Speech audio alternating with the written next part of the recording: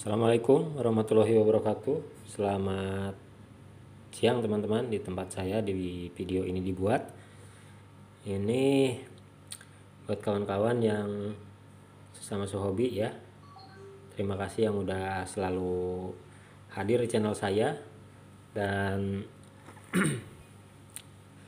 eh, setia menyimak review-review yang membosankan ini ya. Oke mantap Lalu yang kita mau review kali ini adalah ini unitnya Marauder OD38. Ini chambernya CNC ya, CNC production. Nah, tahu lah ya. Nih. Oke. Ya, udah ada sih beberapa unit dari brand ini yang pernah di-upgrade juga Salah satunya ada yang dibikin bocap dan dipasang regulator seperti ini. Nah, untuk unit kali ini ini unitnya agak sultan ya.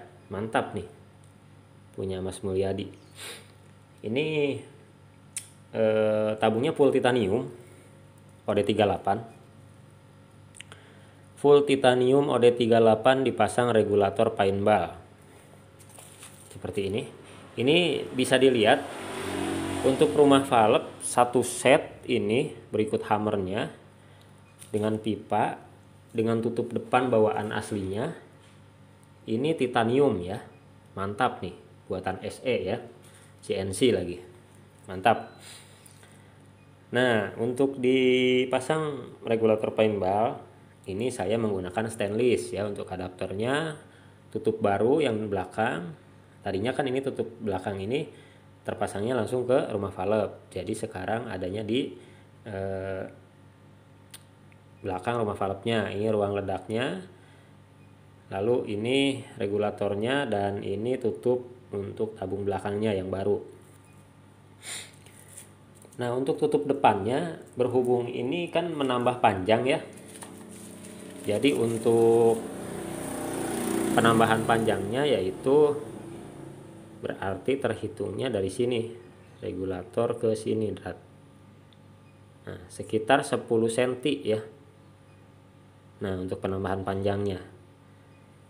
Maka dari itu eh, supaya nanti ini laras yang dipakainya 60 cm ya.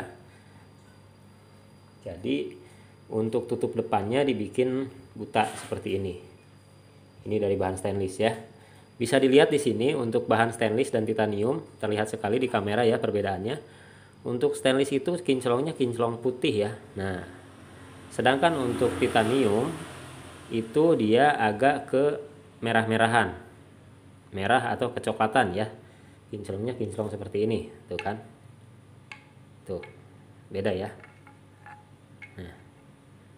Tuh, kalau ini dengan ini temennya titanium juga lalu ini kan panjang jadinya. Ada manometer tadinya di depan berhubung manometer sudah nggak dipakai di depan udah ada yang diregul maka eh, dan kuplernya yang tadinya di belakang sini ini diganti manometernya dipindah ke sini untuk menentukan tekanan output. Dan yang di depan itu supaya larasnya nanti lebihnya untuk kebagian red peredam ya. Jadi dibikin flat seperti ini Nah, ya. Mantap. Jadi sekarang tutup depan belakangnya stainless. Lalu adapternya stainless. Rumah valve-nya bawaannya titanium dan hammernya titanium juga. Ini mantap nih. Nah, kenapa nggak pakai titanium lagi semuanya? Ini bahan yang akan dipakai itu kalau misalkan dipakai titanium akan jadi sangat lumayan harganya ya. Ini pakai stainless saja udah sama-sama kuatnya cuma bedanya agak di bobot. Ini untuk bobot tutup segede gini OD38 titanium. Padahal ini panjang ya sampai sini nih. Nah ini ada drat lagi untuk tutup. Dibandingkan dengan tutup ini yang flat sama drat peredam ke sini itu lebih berat ini stainless. Saya timbang coba. Cuma ini sekarang saya sudah pasang tadi udah tes kebocoran jadi nggak usah saya lepas lagi lah Nah, ini hammernya juga. Ini ringan banget. Cuma ini stainless hammernya yang berat. Kalau pipanya titanium. full titanium ya mantap diganti e, menggunakan dipasang regulator paintball menggunakan adapter tutup belakang dan tutup depan stainless sama-sama kuatnya beda bobotnya dikit lah oke untuk ini bawaannya dibawakan juga. Ini sogok PTA yang aslinya ya. Bentar.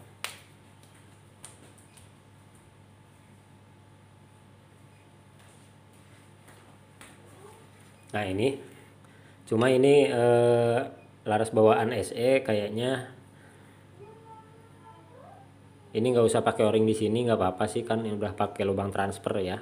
Jadi ke press teflonnya kalau yang model tumpuk seperti ini pakai juga nggak apa-apa bagus. Ini OD nya 14 cuma dipakai serombong jadi 16 ini. Kalau nggak salah 14 nih aslinya. Tuh ya. Tuh. Ini pakai serombong. Jadi untuk penggantiannya berhubung ini ini sultan ini diganti pakai laras bisa dilihat ya Oke, kebalik.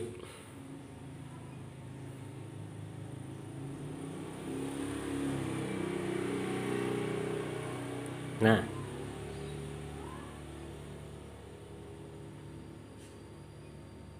Nah, Lothar Walter Jerman. Ini LW ya, mantap nih. Aduh, rapi sekali.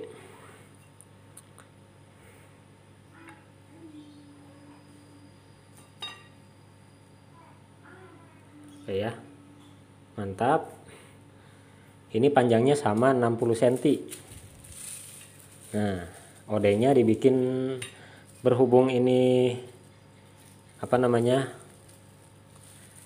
eh, ini kurang 60 cm nih yang bawaannya kayaknya.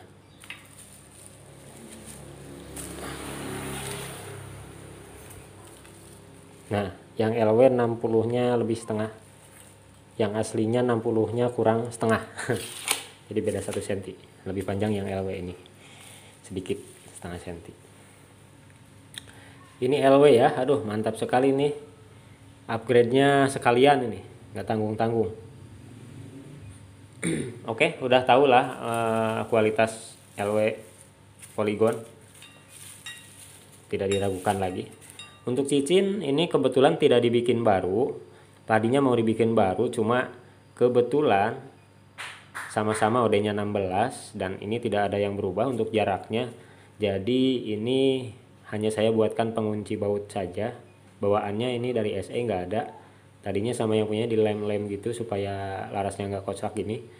Saya bikin penguat dan nanti dikasih karet di dalamnya supaya nggak melukai si e, besinya larasnya ya. Oke cincinnya nggak usah dibuat baru mas ini masih pakai yang lama ya. Lalu untuk panjang tabung titaniumnya ini enggak dipotong. Pipanya itu pipa asli. Eh, 40 nya kurang dikit. Hmm, pipa aslinya.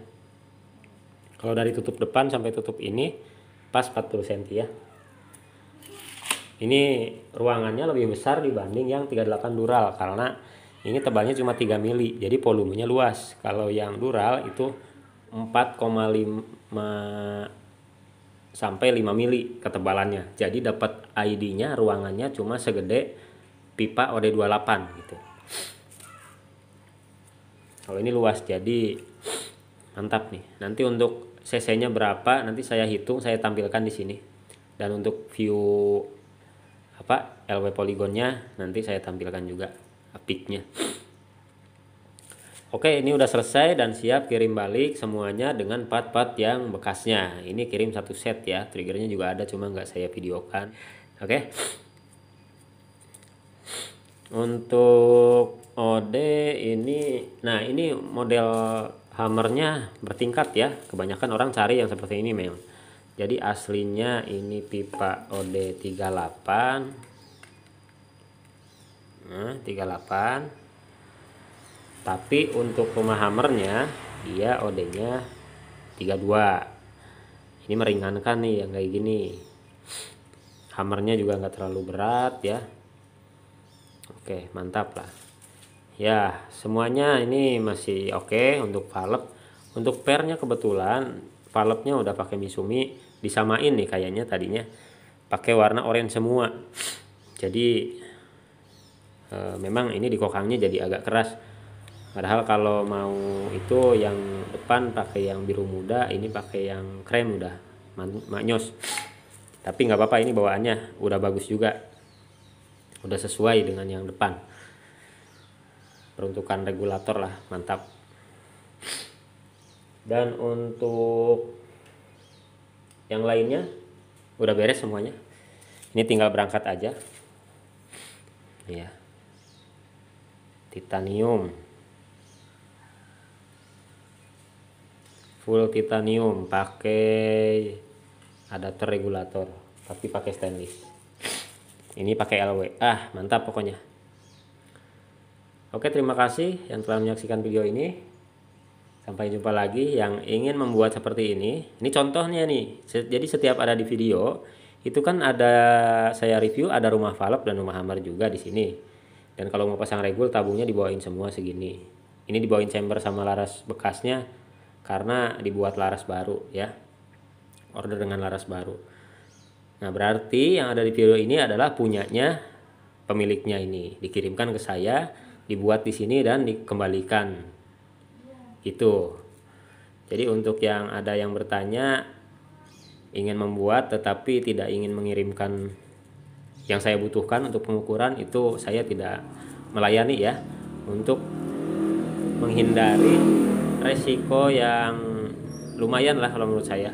Harganya yang nggak sedikit nanti kalau nggak bisa dipakai nggak bisa dipasang nggak pas sampai tempat kan kasihan ya. Jadi mubazir gitu kalau dikirimkan ke saya di setnya di sini dipasangnya di sini mau pasang sendiri boleh bongkar pasang ini bebas. Ini nggak ada yang dirubah rumah valve sama drat ini. Ini dilepas dipasang kembali juga bisa. Tetapi kalau dikirim ke sini kan diukur di apalah segala macam. Jadi saya bisa dites juga seperti ini kan dites kebocoran sebelum dikirim balik. Oke ya terima kasih. Assalamualaikum warahmatullahi wabarakatuh